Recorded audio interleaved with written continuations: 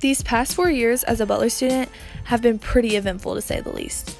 The highs have been really great, but the lows were also pretty awful. I'm not going to say that high school drastically changed me, but I have learned some valuable lessons that I will carry with me for the rest of my life. High school helped me find a part of myself that I never even knew existed. The main thing that I've learned is that your family will always have your back. I think that I have the two most supportive parents out there. It didn't matter what dream I had, whether it be completely out of the ballpark or a small manageable one, they would do their best to help me achieve it. My mom would give the shirt off her back in order to help people out. She's always there for me when I need advice or a shoulder to cry on. My dad is one of the funniest people I know, but you would never know it because he comes off as a really timid guy. I know I can always count on him for a corny dad joke or to call me out if I have something on my shirt. I'm just so grateful for these two awesome people that I call my parents. I hope that one day I will turn out to be as good of a parent as my parents are to me. Having a sister is like having a best friend you can't get rid of. You know, no matter what you do, she'll always be there. I can honestly say that my three sisters are my best friends. Yeah, we argue just like all the other siblings in this world, but in all actuality, those fights are few and far between now that we're older. I know that I can count on my sisters for anything, and vice versa. Whether it be advice about boys, someone to go to the mall with, or just a good laugh, they're always right by my side. I'm really lucky to have older sisters that I can look up to and a younger sister that makes me laugh more than anybody else I know.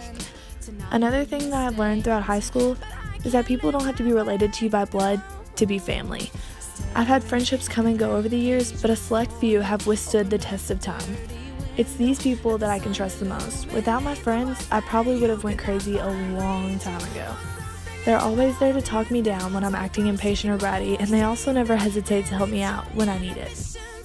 Sometimes you find a group of people you just click with, and I was fortunate enough to find these people so early in my life. My friends who went in high school is such a great experience for me. Softball has been one of the only constant things in my life since I was three years old.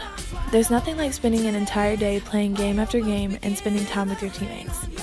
I have never went more than a couple weeks without doing something that involves softball, but in about a month I will hang up my cleats for the last time. Softball helped me develop most of my commendable qualities that I possess today.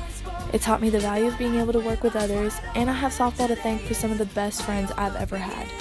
Softball will always be a part of me, and I will cherish the memories that I've made on and off the diamond. All throughout high school, I've been a worrier.